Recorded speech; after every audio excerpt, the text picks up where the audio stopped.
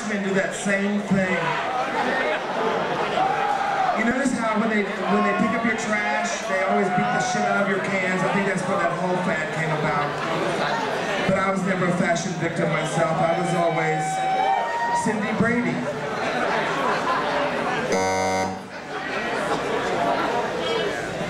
Girl, what did you eat for dinner up there?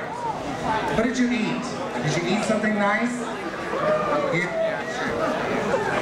Oh, I can hear him back there. You can hear him back there giggling. Turn those microphones off backstage. We can hear you out here. Oh, can you play a vowel? Okay. Now, ladies and gentlemen, you've seen one talent, and now it's time for question and answer. And to bring on the first contestant in question and answer, I would like to bring to the stage someone who is a fabulous entertainer. She crowned me, which means she has good taste.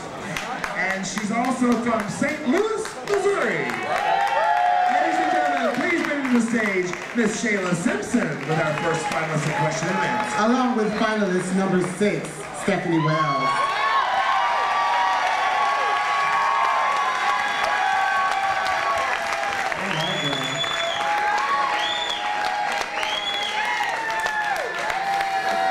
Thank you. Thank you. Stephanie, in your bio, you stated that throughout your 14 years of impersonation, you have held titles in the America System, the US of A System, the Continental System, and of course, the Entertainer of the Year System. What advice can you contribute to someone that is just starting to, to participate in female impersonation competitions? I'll repeat the question. In your bio, you stated that throughout your 14 years of impersonation, you have held titles in the America System, the US of A System, the Continental System, and of course the Entertainer of the Year System. What advice can you contribute to someone that is just starting to participate in female impersonation competitions? Thank you. Good evening, ladies and gentlemen. I'm finalist number six, Stephanie Wells.